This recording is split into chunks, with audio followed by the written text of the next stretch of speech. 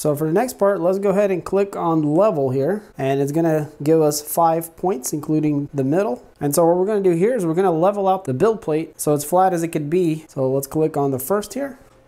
And it's gonna move to our first spot. So I'm just gonna use this piece of paper that was included. So it's gonna take a measurement there. All right. Actually, guys, this paper is way too thick. I'm just to use a post-it note. But yeah, we're just to grab the post-it note and put it underneath the nozzle. And then we're to adjust the knob here until we get some kind of friction between the nozzle and the build plate. All right, that looks like we got a little bit there. So now I'm to go to the second position. Good right there. Third. Good right there. Fourth.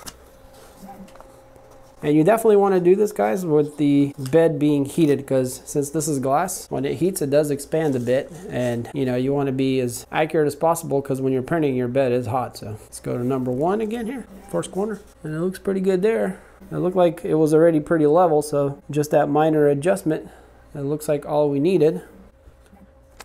And we can go to the center also, which is the fifth position. And we'll check that. And that's perfect right there. So yeah, so let's go back. Okay, so if we click on more, we got auto bed leveling. So now we can do the auto level. So yeah, first you want to do the manual leveling to flatten it out. And now we're doing the auto leveling, which is going to take a lot of measurements. So it can adjust itself as it's printing. And then after it does all this, we're going to go ahead and do the z-axis offset. And then once we do all that, we'll click the save button there to save it all.